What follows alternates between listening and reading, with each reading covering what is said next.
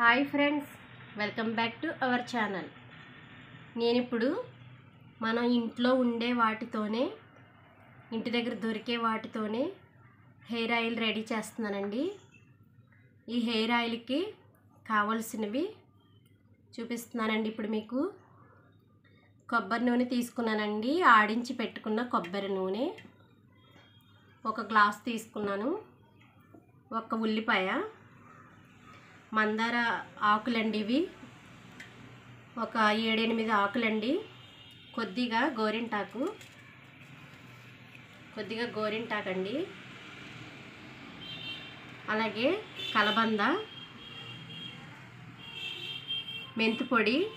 కరివేపాకు రబ్ రబ్బలండి ఇవి ఐదు తీసుకున్నాను. పువ్వులైతే మందార పువ్వులు రేఖ మందార పువ్వులు. ఇవి ఐదు తీసుకున్నాను. ఇప్పుడు ఇవన్నీ నీటిలో కడిగి వేసి శుభ్రంగా మిక్సీ జార్లో వేసుకుందామండి. వాటర్ తీసుకుంటున్నాను.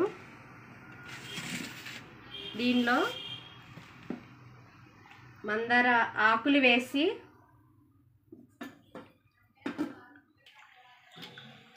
ఈ మందార ఆకులు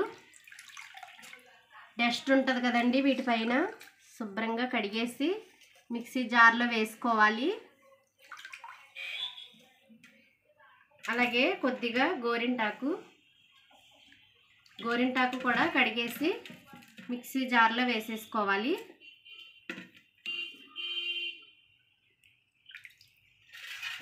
కడిగేసుకుని ఇందులో వేసేస్తున్నానండి కడిగి శుభ్రంగా దీనిలో వేసేసుకోవాలి.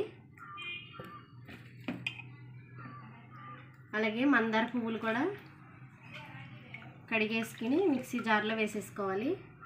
ఇలా ప్రతి ఒక్కటి కడుక్కోవాలండి. ఇప్పుడు ఈ కలబందకి అటు సైడ్ ఇటు సైడు చాకు పెట్టి తీసేసి దీన్ని కడిగేసి ముక్కలు ముక్కలు కోసేసి వేసేయాలండి.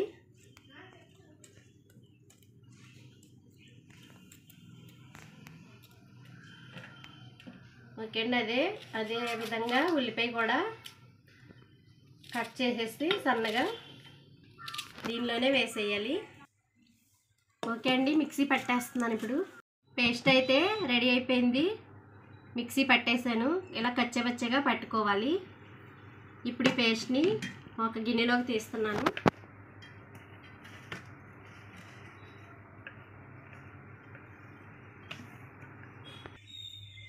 ఓకే అండి ఒక గిన్నెలో కొబ్బరి నూనె వేస్తున్నాను.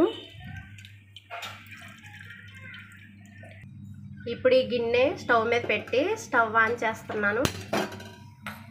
ఈ ఆయిల్ వీటెక్కిన తర్వాత ఆ పేస్ట్ని మనం ఇందులో వేసి బాగా ఆయిల్ వీటెక్కిన తర్వాత పేస్ట్ చేసి పెట్టుకున్న మందార పువ్వులు ఇవన్నీ ఉన్నాయి కదండి.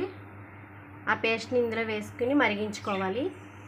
ఆయిల్ అయితే వీటెక్కిపోయిందండి ఇప్పుడు ఈ పేస్ట్ని ఇందులో వేసేస్తున్నాను. వేసుకుని బాగా మరగబెట్టుకోవాలి. ఇలా బాగా కలుపుకోవాలి. లో ఫ్లేమ్లో పెట్టుకోవాలండి. ఇది గుంటగలగా రాకండి ఇప్పుడే తీసుకొచ్చాం. లేకుంటే పేస్ట్ చేసేదాన్ని పేస్ట్లో వేసి. ఇప్పుడు ఈ ఆకులు కోసి ఆయిల్లో వేసేద్దాము. చూడండి గుంటగలగరాకు. దీన్ని ఇలా ముక్కలుగా చేసి వేస్తున్నాను. ఇలా బాగా కలుపుకోవాలండి. చూడండి ఈ విధంగా మరగబెట్టుకోవాలి. చూశారు కదా? అలా అని మరీ మాడకూడదండి. ఇప్పుడు ఈ ఆయిల్లో వేసినవన్నీ చాలా మంచిగా పనిచేస్తాయండి. మందార పువ్వులు మందార ఆకులు. ఊడిన జుట్టు రావడానికి జుట్టుని ఒత్తిగా పొడవుగా చేయడానికి బాగా సహాయపడతాయండి. కరివేపాకు అయితే మన జుట్టు బ్లాక్నెస్ వస్తుందండి నల్లగా మారుతుంది. కరివేపాకు ఆయిల్ రాస్తే అలాగే కలబంద ఉంది కదా ఈ కలబంద కూడా మన హెయిర్ కండిషనర్ బాగా పనిచేస్తుందండి. చాలా సిల్కీగా సాఫ్ట్గా ఉంటుంది హెయిర్ అయితే కలబంద. అలాగే ఇంకా గుంటకలగా రాకుంది కదా. ఆ గుంటకలుగా రాకైతే పూర్తిగా బ్లాక్నెస్ వస్తుందండి.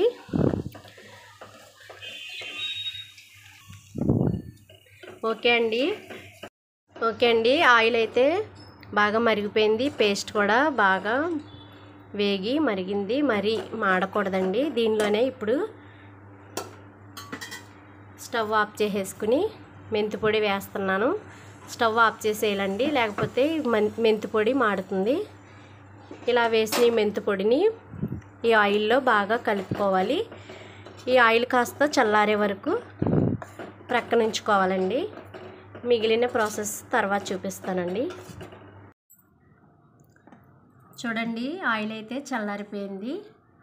ఇప్పుడు ఈ ఆయిల్ని వడపోసుకుందామండి. ఒక లోటాలోకి తీసుకుందాం.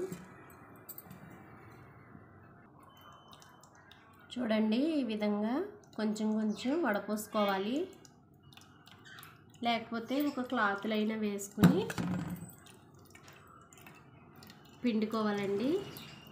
ఈ పేస్ట్ అంతా బాగా వేగింది కదా. చూడండి ఈ విధంగా అలా వస్తుందో చూసారు కదా ఆయిల్. చూడండి ఆయిల్ అయితే మొత్తం క్లాత్ సహాయంతో నేను మొత్తం పిండేసానండి దీనిలో అయితే ఏమీ లేదు. ఇది తుప్పు అండి ఇది. ఇప్పుడు చూసా చూడండి ఈ ఆయిల్. చూసారు కదా? నేను ఈ లోటాడు తీసుకున్నాను. ఒక ఒక పెద్ద గ్లాస్ తీసుకున్నాను. ఇంత వచ్చిందండి ఆయిల్. ఇప్పుడు ఒక గాజు సీసాలో వేసేస్తున్నానండి ఆయిల్ని. చూడండి. మన జుట్టు మన జుట్టుకి బాగా పనిచేస్తుంది మెంతిపొడి చుండ్రిని పోగొడుతుందండి. ఇందులో వేసినవన్నీ కూడా చాలా మంచివి. మన జుట్టు హెయిర్కి హెయిర్ గ్రోత్కి బాగా పనిచేస్తాయి. ఈ ఆయిల్ అయితే మీరు వారానికి ఒకసారి పెట్టుకున్నా రెండుసార్లు పెట్టుకున్నా సరిపోతుంది. ఒక గంట ఉండి తలస్నానం చేసేయచ్చండి. ఓకే అండి. ఈ వీడియో కనుక మీకు నచ్చినట్లయితే like share subscribe to Roopashree kitchen. Thanks for watching